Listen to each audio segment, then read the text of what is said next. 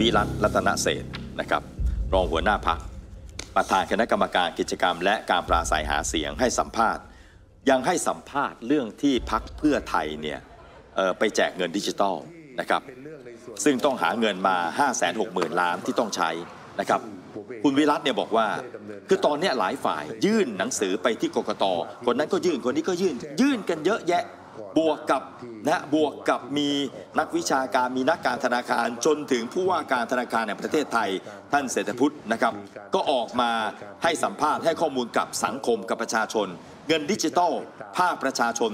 ยังอยู่ในช่วงทดลองศึกษา ไม่มีความจำเป็นต้องเร่งรีบนะฮะคุณธีรชัยภูวนาถนารานุบาล ที่ปรึกษาคณะกรรมการนโยบายของพรรคนะครับ ก็บอกว่านโยบายนี้เข้าข่ายพรบเงินตรา ซึ่ง แบงก์ชาติเป็นองค์กรเดียวที่มีอำนาจในการออกเงินตรา นอกจากนี้เหรียญดิจิทัลก็จะออกแบบให้เป็นบล็อกเชน มีการเก็บข้อมูลในการใช้จ่ายของผู้ใช้จำนวนมากถึง 54 ล้านคน โดยที่ไม่จำเป็นต้องขออนุญาตจากเจ้าของข้อมูลก่อน จึงมีความเสี่ยงที่จะรั่วไหล และถ้าเกิดรั่วไหลขึ้นมา จะเป็นอันตรายต่อประชาชนนะครับในขณะเดียวกันทางพรรคเพื่อไทยก็ประกาศไปหาเสียงหาเสียงหาเสียง คุณวิรัต ก็เลยอยากจะบอกว่าเอ๊ะกกตเนี่ยคุณต้องเร่งนะคุณรับเรื่องร้องเรียนมาแล้วนะฮะแต่ละฝ่ายก็ขอให้คุณตรวจสอบข้อเท็จจริง ในนโยบายนี้อืมนะครับ แต่ละฝ่ายก็ยื่นไป เห็นว่านโยบายนี้มันมีข้อบกพร่อง มันมีจุดที่มันไม่ชอบมาพากลและก็ความเป็นไปได้นะครับ มันเป็นไปได้แค่ไหน ฉะนั้นเนี่ยกกตควรจะต้องเออพอคุณรับเรื่องร้องเรียนมาแล้วสำหรับกรณีนี้คุณควรจะ เร่งพิจารณาว่าไม่ชอบด้วยกฎหมายหรือไม่ เข้าข่ายฝ่าฝืนพระราชบัญญัติเงินตรา ปี พศ 2501 มาตรา 6 มาตรา 9 และมีโทษตามมาตรา 35 หรือไม่นะฮะกกตช่วยกรุณารับเรื่องร้องเรียนแล้วเร่งพิจารณาตามขั้นตอนโดยเร็ว อย่าให้พูดง่ายๆว่าอย่าให้เพื่อไทยเนี่ยตีกินหาเสียงไปเรื่อยๆ หาเสียงไปเรื่อยๆ คุณทำอะไรบ้างเถอะ คุณอย่ารอทุกสิ่งทุกอย่างเลือกตั้งเสร็จแล้วค่อยมาว่ากัน แล้วคุณไม่คิดเหรอว่า ถ้าเกิดโครงการนี้นโยบายนี้มันไม่ชอบด้วยกฎหมาย แต่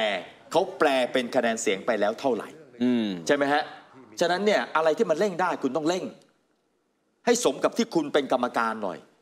นะฮะให้สมกับที่เป็นกรรมการหน่อย ตอนเนี้ยเกมกีฬามันแข่งขันกันแล้วอ่าเกมกีฬามันแข่งขันกันแล้ว มีบางฝ่ายดูเหมือนว่าเอ๊ะเล่นตุกติกหรือเปล่าไอ้นี่เล่นนอกกฎกติกาหรือเปล่า เอ้ากรรมการก็ไม่ว่าอะไร ปล่อยให้เล่นไปแบบนั้น ใช่ไหมฮะ คุณว่าอะไรสักหน่อยก่อนที่เกมมันกำลังจะจบ คุณวิระก็สงสัยแบบนี้อ่าเออ มันยื่นหลายส่วนแล้วคุณศรีสุวรรณก็ยื่นใช่ไหมก็ไม่รู้ว่าจะทำอะไรยังไง ไม่มีข้อห้ามอะไรเลยนะนี่นะฮะพูดถึงกกตท่านผู้ชมครับมีรายงานว่าเอ่อ คอรมอก่อนหน้านี้เห็นชอบที่จะเสนอให้กับกกตคณะกรรมการการเลือกตั้ง เพื่อขออนุมัติวงเงิน 11,112 ล้านบาท เพื่อช่วยลดภาระค่าไฟฟ้าให้กับประชาชนนะครับ ก็มีรายงานนะครับว่าเอ่อเมื่อวันที่ 25 เมษายน ซึ่งเป็นวันที่คอรมอมีมติ แล้วหลังจากนั้นทางสำนักเลขาธิการคอรมอก็มีหนังสือนำส่งหนังสือของกระทรวงพลังงาน ที่ขอให้กกตพิจารณาเห็นชอบ ในการที่คอรมอจะอนุมัติงบกลาง 11,112 ล้านบาท เพื่อลดภาระค่าไฟให้กับประชาชน ปรากฏว่ากกตเนี่ยตีกลับหนังสือฉบับนี้นะครับ เพราะเห็นว่าหนังสือที่ส่งมายังดำเนินการไม่ครบถ้วน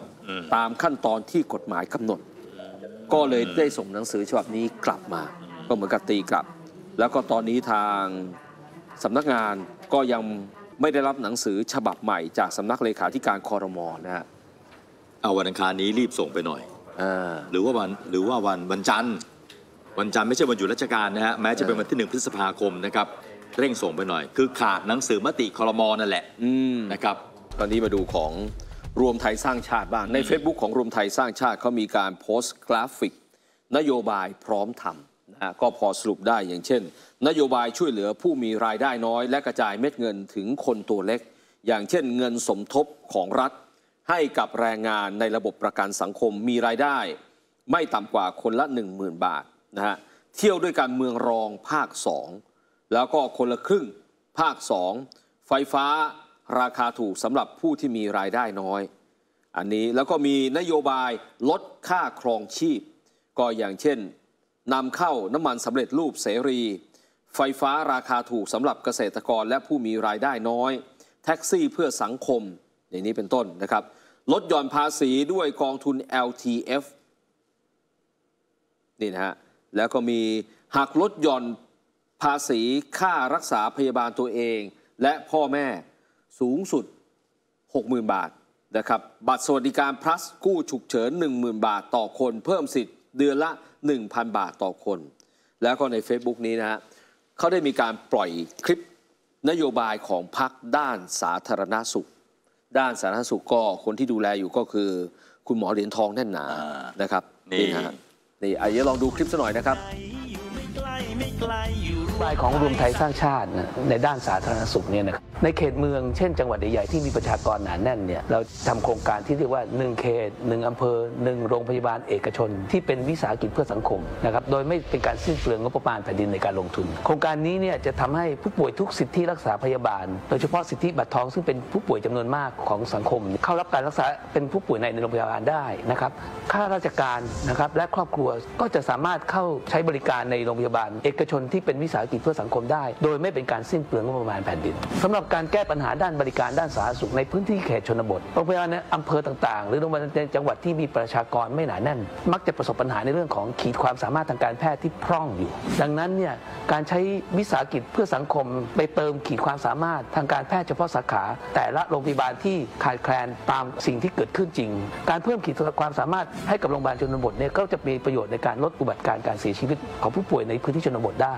อันที่สามแก้ปัญหาด้านบริการสาธารณสุข ซึ่งเป็นสิ่งสำคัญมากในปัจจุบันนี้ ในกรณีของสถานการณ์สังคมผู้สูงอายุซึ่งเกิดขึ้นแล้ว ดังนั้นเนี่ยการจัดตั้งเครือข่าย ศูนย์ผู้สูงอายุ คนพิการ และกลุ่มเปราะบางทางสังคมประจำตำบลอำเภอ จังหวัดอย่างเป็นเครือข่ายเป็นระบบสามารถปฏิบัติได้จริง อันนี้จึงเป็นเรื่องเร่งด่วน และสิ่งที่รวมไทยสร้างชาติ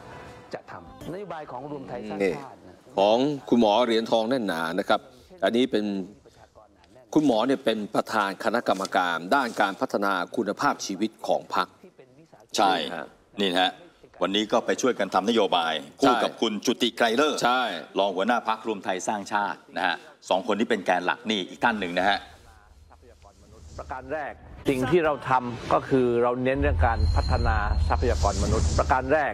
เด็กมากถึง 50%เริ่มต้นป .1 ด้วยกัน ไม่สามารถจบมัธยมปลายได้ เพราะยากจน รัฐบาลนี้ให้ทุนตั้งแต่ปี 63 64 65 66 28,000 ล้านบาททำให้เด็กที่ไม่สามารถเรียนต่อนั้น 3 ล้านคนสามารถมีเงินไปเรียนหนังสือได้ ประการที่ 2 เราดูแลกลุ่มผู้สูงอายุ กลุ่มที่คนพิการที่มีที่พักอาศัยที่ไม่เหมาะสม ก็ได้ไปซ่อมให้มีความเหมาะสมเนี่ยหนึ่งแสนแปดหมื่นครอบครัว และยังทำต่อเนื่องทุกๆ ปี หาที่อยู่อาศัยให้กับผู้มีรายได้น้อย ทั้งในเมืองและก็ต่างจังหวัด เดือนละ 999 บาท 13,000 ครอบครัวอยู่แล้ว แล้วขณะนี้อยู่ระหว่างขั้นตอนการก่อสร้าง ในอนาคตจะต้องทำให้ครบ 1 0 0 0 0แสนหลัง เราดูแลเรื่องเด็กแรกเกิดได้รับเงินช่วยเหลือค่านมเนี่ยเดือนละ 600 บาท เรามีศูนย์ช่วยเหลือสังคมประจำตำบล และชุมชนเนี่ยทั่วประเทศ 7,092 ศูนย์บูรณาการกันทุกกระทรวง เป็นแอปแจ้งเหตุนะครับปักหมุดหยุดเหตุ เริ่มดำเนินการเมื่อ 1 เมษายน แล้วก็จะขยายไปทั่วประเทศ โรงพักทั้งหมด